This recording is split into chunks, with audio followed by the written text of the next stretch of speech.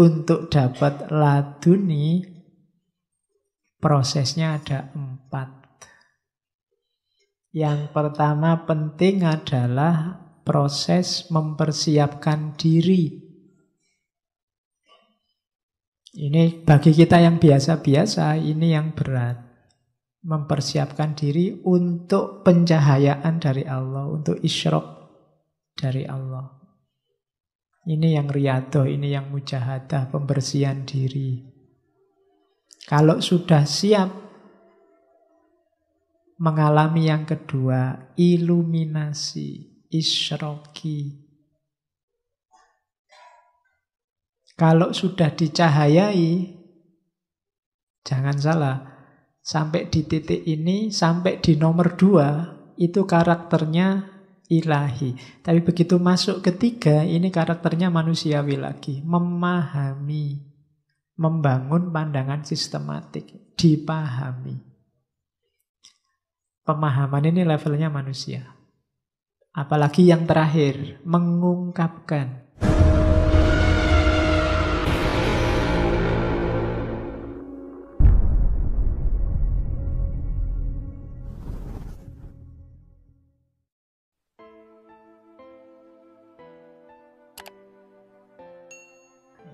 Bagian keterbatasan akal. Ini cerita Ghazali kan suka menarasikan bagaimana panca indera itu penuh keterbatasan. Bagaimana akal itu penuh keterbatasan. Kalau laduni tidak.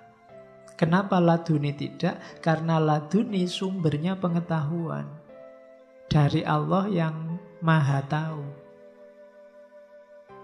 Panca indera terbatas, kelihatannya A tapi bisa jadi hasilnya B.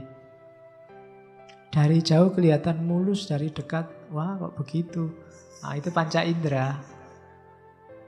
Bisa mudah tertipu. Akal juga begitu. Akal itu kan sering trik. Yang baik kelihatan jelek, yang jelek kelihatan baik, itu akal. Akal sering tertipu merasa orang soleh tapi ternyata sebenarnya belum soleh. Itu ketertipuan akal. Dalam banyak kasus sering terjadi. Nah, kalau akal sama panca indera terbatas, kalau kalau la dunia tidak. Kenapa? Karena la dunia sumbernya langsung dari Allah. Karena dari Allah ya tidak ada batasnya sudah isinya bisa macam-macam. Dunia wa ma fiha wal akhirah wa ma fiha bisa. Makanya para wali itu kadang-kadang bisa bahkan membaca akhirat. Nanti baca biografi para wali, mungkin kamu cek-cek kitab-kitab semacam Tadhkiratul Aulia, itu biografinya. Para wali. Akhirat aja dibaca, apalagi dunia. Apalagi kayak acara karma itu yang kamu pernah melakukan ini, itu lebih gampang lagi. Kalau Allah menghendaki. Jadi tidak ada batasnya. Jadi makanya besok kalau ada yang gitu-gitu kamu tidak usah kaget. Kita sudah punya konsep itu lama dalam ilmu laduni. Sayangnya memang yang punya laduni tidak banyak. Itu yang bikin kita kaget-kaget hari ini. Apalagi ilmu kita ilmu positivistik, ilmu kaku, ilmu akal, dan panca indera yang serba terbatas. Masalahnya di situ. Oke, ini kalimat belakangan dalam arisalah ala dunia. Jika Allah menghendaki kebaikan pada hambanya, jadi orang yang oleh Allah dikasih pengetahuan dunia, berarti Allah menginginkan dia kebaikan dengan pengetahuan itu. Allah akan mengangkat tabir antara jiwa hamba dan jiwa yang di dalamnya ada telaga. Maksudnya jiwa universal, akal mustafat atau Nur Muhammad kalau bahasanya Ibnu Arabi. Allah menampakkan dalam jiwa hamba sebagai rahasia realitas dan memahamkan dalam jiwa hamba makna realitas itu. Maka tersingkaplah jiwa hakiki dan hakikat hikmah bagi hamba yang dikehendaki Allah melalui ilmu laduni. Ayatnya itu yuktil hikmata mayyasha' wa tal hikmata faqad utiya khairon kasir. Jadi yang diladunikan, dianugerahkan oleh Allah pada manusia itu namanya hikmah. Makhluk yang bernama hikmah ini kan yang kita kejar-kejar dengan ngaji filsafat sejak berapa tahun yang lalu. Itu kalau Allah menghendaki kamu tidak perlu capek-capek ngaji langsung dapat. Masuk dalam jiwamu tentang hikmah ini. Dan ini diberikan Allah tanpa syarat apa-apa kecuali satu hal syaratnya mayasya yang diinginkan oleh Allah saja. Maka jadikan dirimu sebagai orang yang diinginkan oleh Allah. Syarat pertama pasti kamunya sendiri harus menginginkan Allah kalau kamu tidak menginginkan Allah tidak mungkin Allah menginginkan kamu jadi mayasya dan orang yang dapat hikmah ini fakot utia khairon kasiro. Pasti dia dapat kebaikan yang banyak. Wama yadzakaru illa ulul albab. Dan tidak akan berpikir, tidak akan ingat tentang hal-hal semacam ini kecuali ulul albab. Orang yang peka kolbunya. Orang yang jernih kolbunya. Itu ulul albab. Maka ini Al-Quran jadi kalian cari sendiri jalan biar kita diridhoi oleh Allah, Allah menginginkan kita. Nah nanti dalam hidup ini kenapa sih ada laduni? Karena hidup ini variabelnya dua. Ada sunnatullah, ada kudratullah. Sunnatullah itu hukum Allah yang pasti. Kalau ini kita bisa belajar secara khusuli, secara ta'alum insani. Tapi yang kudratullah tidak. Kita menempuh kudratullah satu-satunya jalan ya secara laduni. Pengetahuan dari Allah langsung. Laduni bisa juga tentang sunnatullah. Tapi dia juga bisa tentang kudratullah. Tapi ta'alum insani yang model manusia bisanya hanya sunnatullah, tidak bisa kudratullah. Sunnatullah itu kalau kamu tidak makan tiga hari mesti kelaparan, itu sunnatullah. Tapi tidak makan tiga hari, kok kamu masih ketawa-ketawa santai, ah itu kudratullah. Ya, jadi intervensinya Allah. Sunnatullah itu kamu loncat dari gedung lantai 20 dan tewas, itu sunnatullah. Kita memedomani sunnatullah. Tapi kamu loncat dari gedung lantai 20 kok pas di bawahnya ada truk bawa kasur banyak. Itu kudratullah, kehendaknya Allah. Sunnatullah itu kamu cakep dapat pasangan cakep. Kudratullah itu kamu.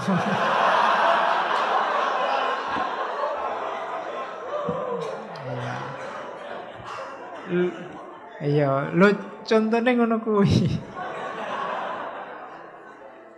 Nah, dan kudratullah saya bilang tadi, kudratullah hanya bisa ditangkap oleh ilmu laduni. Ilmu biasa tidak masuk akal, Pak. Tapi yo, betul laduni. Jadi kalau kalian punya pacar cakep terus ada wah ndak masuk akal loh ini memahaminya pakai laduni. Ndak bisa pakai ilmu biasa. Karena memang itu yang saya bilang tadi Allah anytime intervensi. Kapan pun Allah bisa intervensi. Jadi namanya kudrotullah dari situ ilmu laduni bermain. Kalau ilmunya manusia biasa yang kita kejar hanya bisa menjangkau yang sunnatullah. Kalau ada orang tanya, Pak loncat dari lantai 20 tewas enggak Pak? Jawabannya iya mesti tewas. Kenapa? Karena kita manusia ngertinya yang sunatullah. Meskipun ya enggak mesti juga kalau Allah nolong kemudian anu ah, itu levelnya kudratullah. Bukan ranah kita tapi masih ada kesempatan enggak tewas. Tapi levelnya kudratullah. Makanya manusia disuruh berdoa. Kalau hanya sunatullah, kita tidak pakai berdoa. Tidak berdoa, wong semuanya sudah pasti. Kalau saya jelek, miskin kayak gini, ya mesti dapatnya ya tidak jauh-jauh dari itu. Itu sunatullah. Tapi kan jangan khawatir ada kudrotullah. Iya, jadi pada saatnya Allah bisa intervensi, tenang saja. Nah itu kudrotullah. Dan ini levelnya ladunia, ilmu laduni. Oke, saya pinjamkan dari Suhrawardi seperti janji saya tadi. Berarti apa? Untuk dapat isroki, bahasanya Suhrawardi, untuk dapat laduni, prosesnya ada empat. Yang pertama penting adalah proses mempersiapkan diri. Ini bagi kita yang biasa-biasa, ini yang berat mempersiapkan diri untuk pencahayaan dari Allah, untuk isyrok dari Allah. Ini yang riado, ini yang mujahadah, pembersihan diri. Kalau sudah siap mengalami yang kedua, iluminasi, isroki.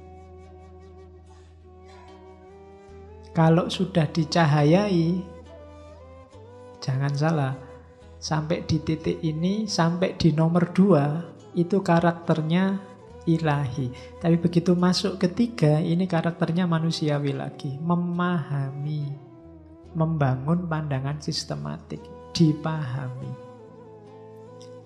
Pemahaman ini levelnya manusia.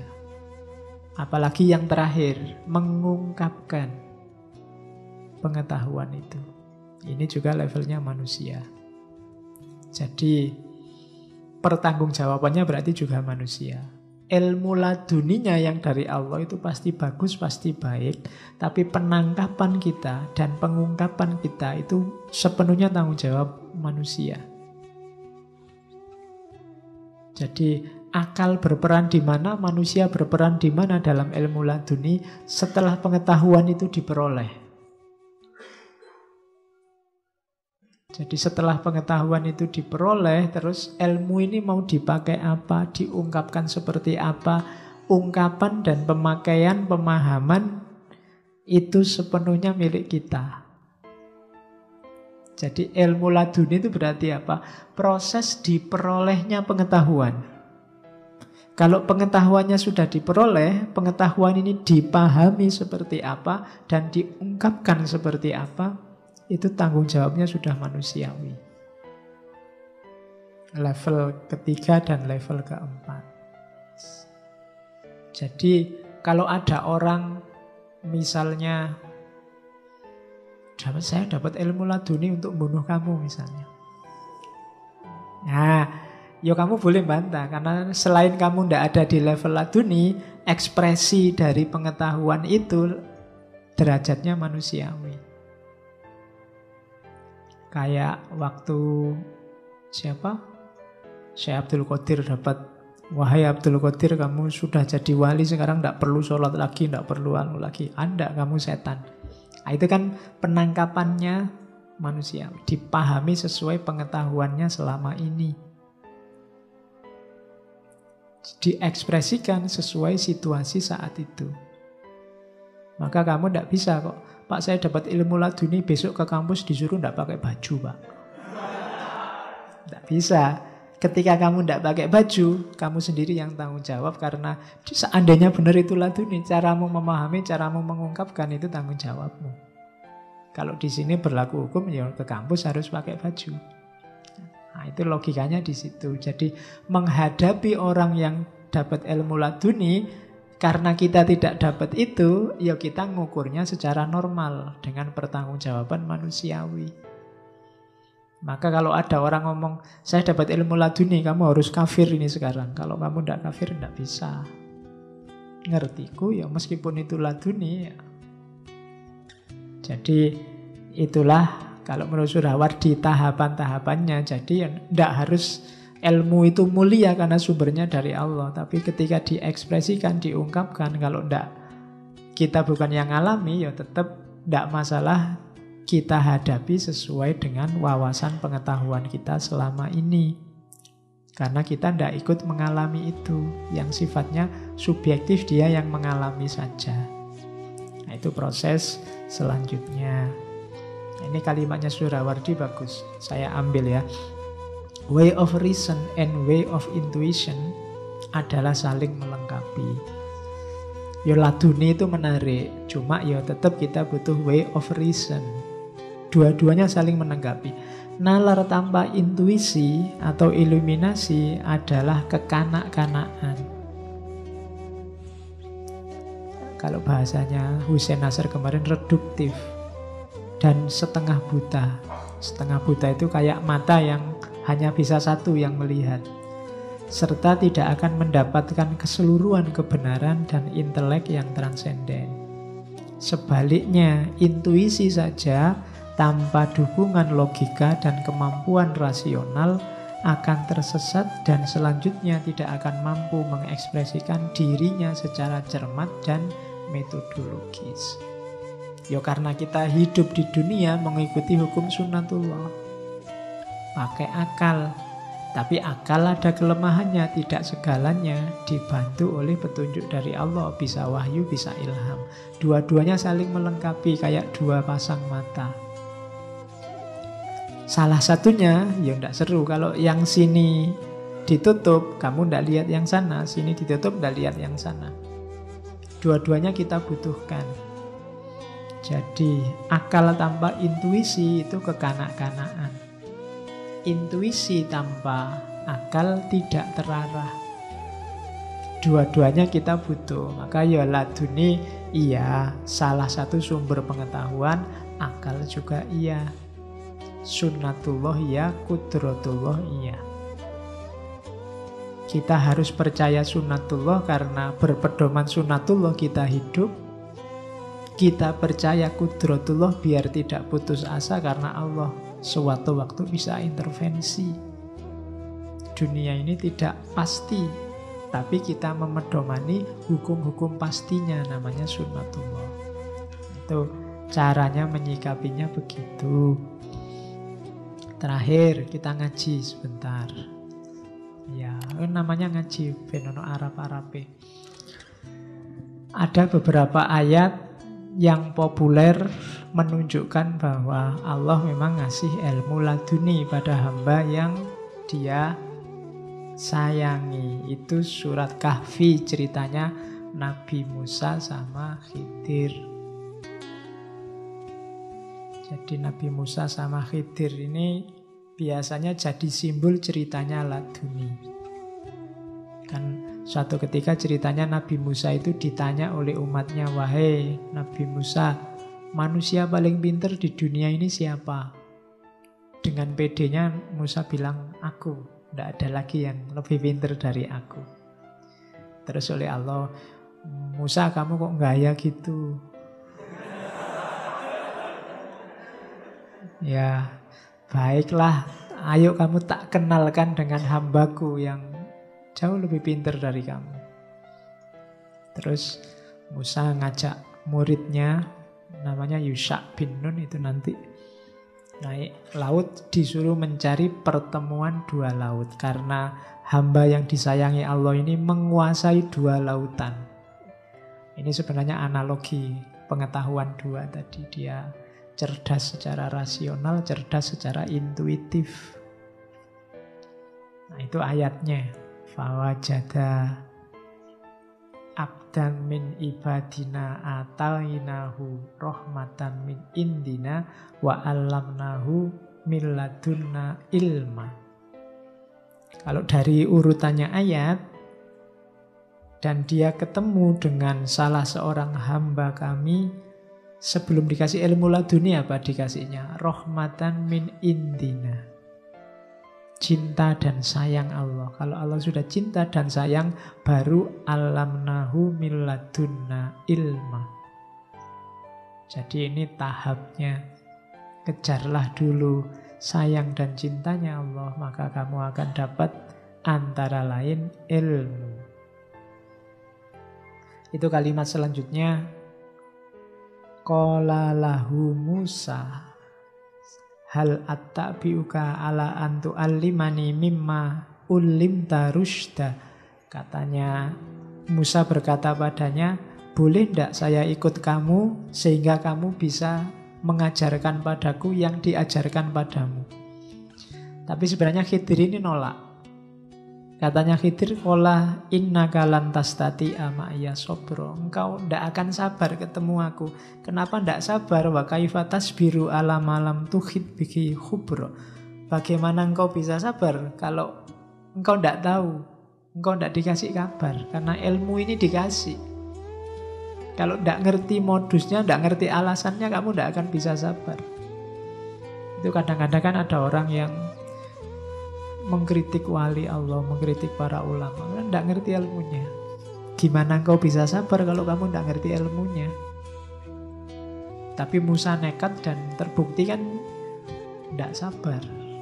Karena memang pakai logika normal yang dilakukan oleh Khidir itu tidak masuk akal. Sudah ditumpangi perahu, perahunya malah dirusak. Itu kan tidak tahu terima kasih lagi enak-enak jalan ada anak kecil tiba-tiba dibunuh. Itu kan kriminal luar biasa. Tidak masuk akal. Diusir-usir orang dari desa minta makan minta tolong tidak ada yang mau nolong tiba-tiba ada rumahnya penduduk yang roboh dibantu mendiriin dibantu bangun. Nah itu kan nggak masuk akal semua. Orang jadi nggak sabar kita sudah diusir-usir. Kok sekarang malah dibantu orang desa, wong kita yang butuh. Anak kecil nggak tahu apa-apa dibunuh. Kita sudah ditolong, ditumpangi perahu, perahunya malah dirusak. Ini kan tidak nyambung semua. Tapi kalau ngerti alasannya baru nyambung. Nah, orang biasa yang tidak dikasih alasannya ini, kalau khidir dikasih. Itu yang disebut miladunna ilma. Maka ini bisa kamu jadikan dalil untuk tidak mudah menyalahkan orang lain. Karena kita tidak tahu alasannya, tidak tahu motifnya, dia yang tahu. Wa kaifa tasbiru ala malam tuhid bihi khubro. Gimana kau bisa sabar, gimana kau bisa menanggung sesuatu yang kamu tidak dikasih informasi. Akhirnya bisa, kapan-kapan kita ngomong lagi Manusia Langit jilid kedua. Iya, Khidir bisa diangkat. Cuma nunggu ilmu laduni dulu. Oke. Terus ini ayat-ayat yang juga cerita tentang pengetahuan langsung. Al-Anbiya itu Nabi Dawud oleh Allah diajari cara membuat baju besi untuk perang. Dicek surat Al-Anbiya atau Nabi Yusuf. Wa kadzalika yajtabika rabbuka wa yu'allimuka min ta'wilil ahadis. Diajari tafsirnya mimpi. Atau surat Al-Baqarah. Nabi Adam. Nabi Adam ini diajari kalau versinya Sedu Senasar diajari Saintia Sakra. Wa allama adamal asma'a kullaha semua kebutuhan pengetahuan untuk bekal hidup di bumi diajarkan oleh Allah. Yang itu malaikat nggak diajari. Makanya ketika dites ke malaikat, ya malaikatnya nggak bisa. Oh nggak diajari. Malaikat itu kan hanya melakukan yang diperintahkan. Nah itu contoh. Ya sebenarnya dalam cerita-cerita banyak. Nabi, para sahabat, itu banyak cerita-cerita yang Kayak tadi kayak Nabi Yusuf itu Abu Bakar itu punya kemampuan takwil mimpi.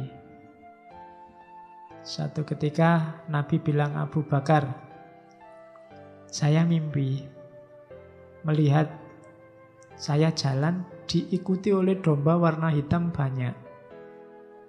Tapi setelah itu diikuti oleh domba warna putih lebih banyak lagi sampai warna hitamnya tidak kelihatan. Nah itu Nabi ngobrol sama Abu Bakar. Yang bisa menakwil mimpinya Abu Bakar. Katanya Abu Bakar, oh itu artinya nanti orang Arab hampir semua akan masuk Islam. Itu kambing hitam. Tapi setelah itu akan lebih banyak lagi non-Arab yang masuk Islam. Itu kambing putih. Sampai yang Arabnya tidak kelihatan. Katanya Nabi Muhammad. Pinter kamu Abu Bakar. Jibril juga sudah bilang gitu. Nabi Muhammad ngetes berarti. Iya. Jadi ya kan ada lagi yang Abu Bakar itu waktu Nabi mimpi Abu Bakar aku mimpi kita berdua lomba naik tangga dan aku menang. Aku menang dua setengah tangga. Katanya Abu Bakar, oh itu maknanya Nabi nanti Nabi akan meninggal duluan dua setengah tahun setelah itu baru saya. Dan ternyata ya pas. Ke Khalifah Abu Bakar kan dua setengah tahun terus beliau meninggal. Itu Abu Bakar. Belum lagi Umar. Kalau Umar ya lebih canggih lagi. Umar itu enak-enaknya khutbah Jumat terus teriak-teriak. Wahai Syariah lari ke balik gunung lari ke balik gunung. Itu teriak-teriak begitu sahabat iki lu orang khutbah kok teriak-teriak ndak jelas ini. Waktu ditanya katanya Umar ya waktu dia khutbah dia melihat pasukan yang sedang perang di Nahawan perang di daerah Persia. Itu sedang terdesak mau kalah dan Umar teriak-teriak mengingatkan orang suruh lari suruh berlindung ke balik gunung. Nah, ini kan pengetahuan ini dari Allah. Jadi Nabi Muhammad kan juga begitu waktu Isra Mi'raj begitu pulang dari Isra Mi'raj ketemu Abu Jahal katanya Abu Jahal beneran kamu habis dari Masjidil Aqsa iya Berani jamin, berani. Akhirnya kan orang-orang tak undang ya katanya Abu Bakar. Ya diundang semua. Jadi orang pertama yang memperingati Isra Mi'raj itu Abu Jahal.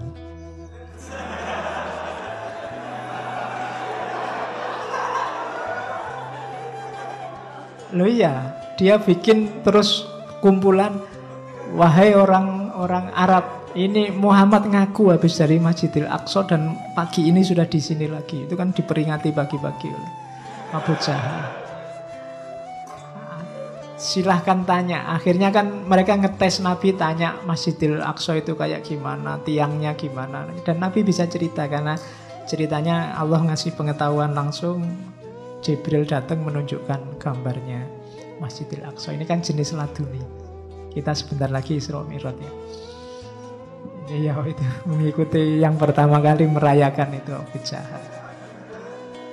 Oke, cuma dia karpe ngetes ternyata gagal akhirnya jadi perayaan beneran. Ya kan nanti dari situ ada gelar Abu Bakar As-Siddiq karena yang sama sekali tidak bantah yakin 100% itu Abu Bakar. Sehingga dia dikasih gelar As-Siddiq.